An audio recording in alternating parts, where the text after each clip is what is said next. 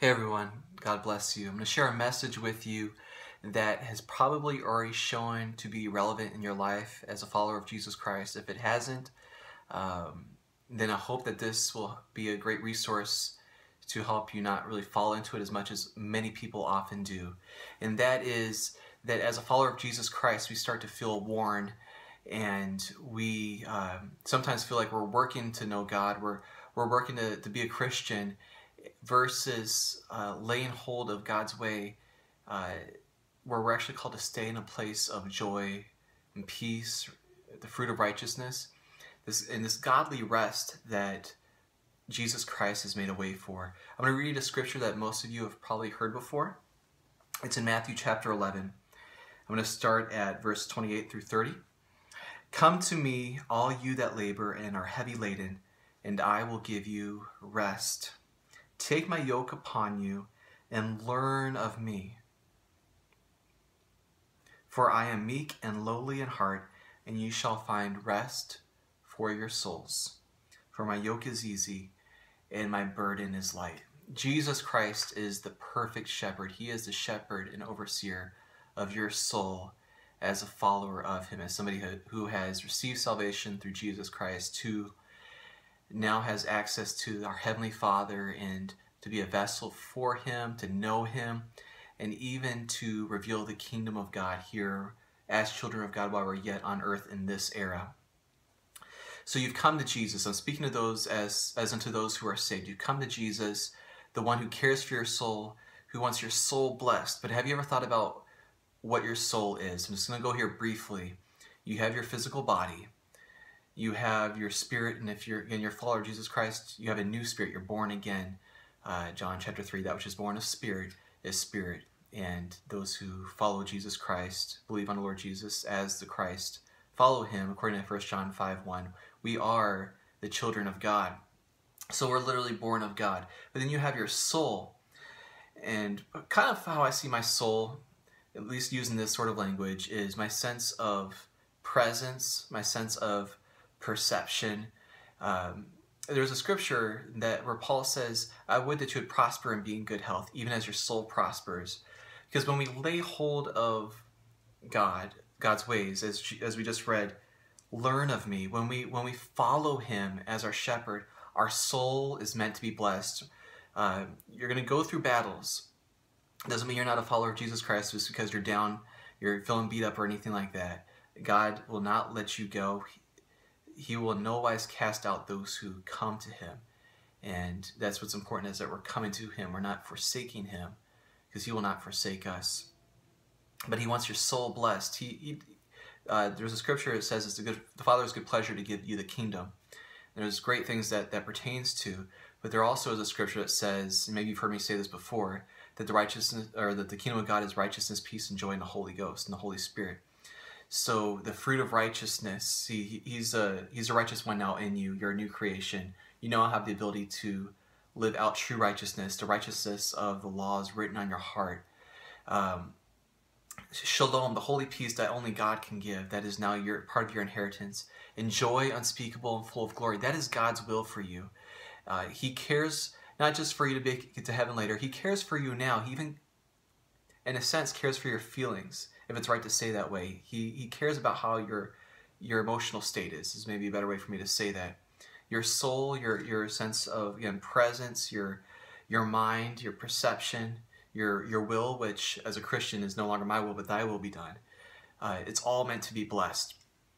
So, as we just read, Jesus wants you to know this great rest He has made a way for, as being the perfect shepherd as a Christian, we have access to life and life more abundantly. Uh, one of my favorite scriptures says that we have all things that pertain to life and godliness through the knowledge of Him who has called us to glory and virtue. Uh, we're called to always triumph through Christ Jesus. We're called to live out the reality of, of having authority over darkness.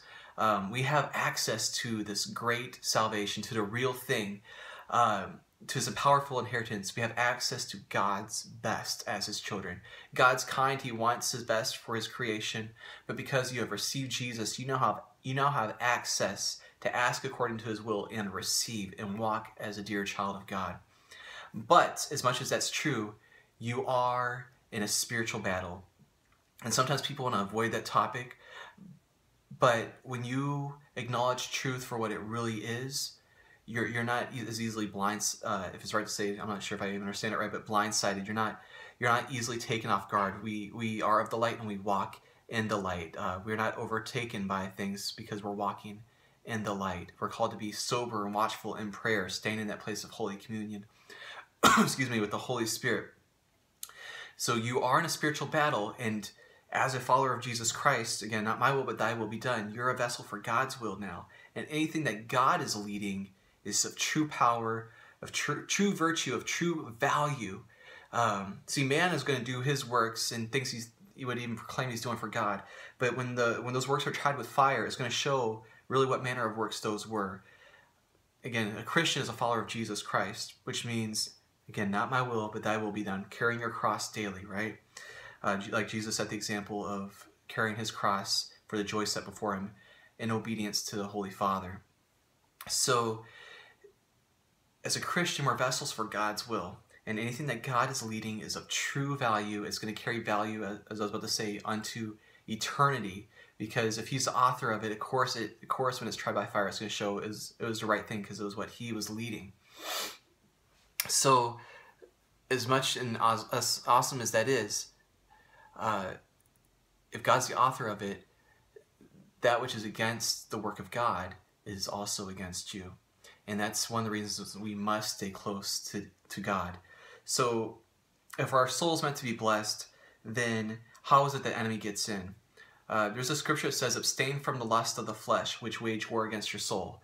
In other words, when we give into the selfish desires of the carnal nature, doesn't mean we're losing our, uh, our access to heaven uh, now or later, but it, it, what it does mean is we're letting the enemy come into our house to bring some robbery, some thievery, to steal your righteousness, peace, and joy from you, which you're called to have. And it doesn't mean that you're you're gonna be stuck there for a while. You just turn to God, and He He is the restorer. Truly, salvation isn't just later. Salvation is now. Even for the the depths of what salvation means to be saved, experience salvation, is such a great, powerful thing. And I'm just gonna keep saying it. Even for your own sense of peace, that is part of your inheritance as a child of God. Again, I'm supposed to say it again. Your sense of peace. God cares about that. He has called you to a holy peace in Him. He cares for your soul and He wants you to find rest and refuge in Him. So the enemy, he's trying to find a way in. And now I don't want to sound too legalistic, say, oh, it's your fault, it's your fault, sickness and all that. See, we're, there's, there's, it's hard to say some of these topics shortly and simply. Um, such, for example, when the disciples said, who, who sinned, this man or his parents that he was born blind? He said, no, it wasn't even that. Was, and I'm paraphrasing, but it was that because uh, God was going to be glorified through this and he was healed, right? But at the same time, it is true that the enemy does give get access when we let him in. So realistically, we are maturing. We're going from glory to glory, right? We're, we're always a work in progress. We're always growing. We're always being renewed um, by the Holy Spirit to live out the truth within us, to live out the reality of being a child of God. We're growing and being unshakable.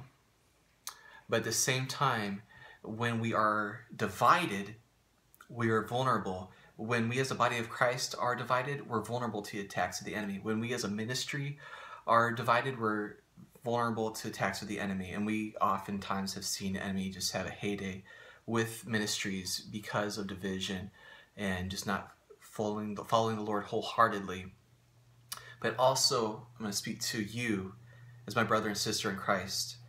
Uh, we've all been there where uh, there's even a scripture that says, where, where do these debates, I'm, I'm paraphrasing it again, um, come, where, where, where is this drama, I'm going to give the Tim version, where is this coming from? Is, this, is it not the war going on inside in your, your inner members? Is It's your own inner issues that are causing these other things outwardly to happen. So what I'm getting at is you do not want to be divided inwardly in your affections we want to love God with all that we are. It's not just because God wants all of our heart. Like, um, it's not just He's like, uh, how do I say this? He's not telling you to love Him just be just out of selfishness. It's even it's even also for your own well-being to love God with all you are, with all your heart, with all your mind, with all your strength, with all your soul, with your entire being to set your love upon Him. Psalms 91, it, it promises these things that pertain to protection, but the condition is to set your love upon Him. So, we're realistic, as much as there's great promises concerning protection, we realize that we're getting hurt. And again, there's there's reality of battle and all that. And I'm not saying stuff is necessarily your fault when stuff is going on, but sometimes it is again because you have opened the door for darkness to try to hurt you. It doesn't mean God doesn't love you, but you gave it permission. It'd be um, it's a really practical example here. Um, let's say God says, "Don't do that. Don't don't drink that from that cup." I mean, it can sound symbolic, but I'm going to say literal. Okay. We'll say something like you you go out to a restaurant, right? And somebody buys you a drink are you going to hell for drinking alcohol? No. We're not supposed to, to get drunk in excess as in with wine. God wants you to experience something greater, a continual filling of His Holy Spirit. But if God told you not to do something, and you don't know that somebody has slipped something in that drink, right? See, God was trying to protect you, but you you went after the passions of the flesh and your own selfish desire, and through though God was demonstrating His kindness to want to protect you, you can hear it symbolically as well the enemy was able to bring harm. And we, we hear ladies um, who are assaulted because of these very things. You know, they're going out with friends. Um, they might even have intention to get drunk, but somebody slips something and they take advantage of them. We don't want to give the enemy place. We don't want to give them a foothold at all into our souls. So, uh, a big part of this message is to be all in. We want to be all in with our affections for our Lord Jesus Christ. Because honestly, we're exhausted when we're not all in. And that's that's kind of the paradox, if it's okay to say it like that, of this, is sometimes we're we're striving to stay close to God to experience His salvation, but we're striving out of our own efforts. And instead of, um, and this is part of the discipleship process of growing and knowing God, is that we learn to walk in His holy flow, where I don't have to be so regimented and feel guilty because I didn't do something, or you know those kinds of things. He wants you to learn to walk with Him, but it is good. I'll, I'll go ahead and have a side side thing here for a moment. It is very good to have discipline. Uh, to, when you wake up to make a solid decision, I'm going to pray no matter what. I'm going to I'm going to renew my mind with the, the holy Word of God. These are quality decisions. I'm going to stay faithful to be connected to the ministry that God has called me to. These are great disciplines. I'm going to be faithful of my giving. Um, but God doesn't want you to think as in a matter of I have to, I have to, I have to. But as you as you're renewed and you learn to walk in the Spirit, it's the overflow of your heart that um, His commandments are not grievous. Uh, his leading is actually a, a, delight to you. But again, dis, the discipline is a great thing. But what happens again is sometimes people exhaust, exhaust themselves because it's not always God leading every detail of that. So and then also what happens is when we are giving our affections in other directions besides Jesus Christ, we get divided inwardly. That's the, that's the main point I'm making on this video is when your affections are divided, then you're actually, it's weird, you actually will, exhaust, it's exhausting to not be all in. It is exhausting to not love God with all that you are because that's where you're safe. That's where you're laying hold of the ways of life. And as much as you might be going through the valley of the shadow of death, you will fear no evil because God is with you. His holy peace can be with you in what would seem like the most hardest times. And what happens a lot of times is when we're going through something hard, we go back to our old ways, right? And uh, that's where addictions can come in. And it doesn't mean God stopped loving you, doesn't mean He's not there, but then you start hurting yourself. So you have access to all things that pertain to life and godliness, but you're hurting yourself. God cares for you. He doesn't want you to be abusing yourself uh, with different kinds of addictions. He, he, he wants you to lay hold of the way of life.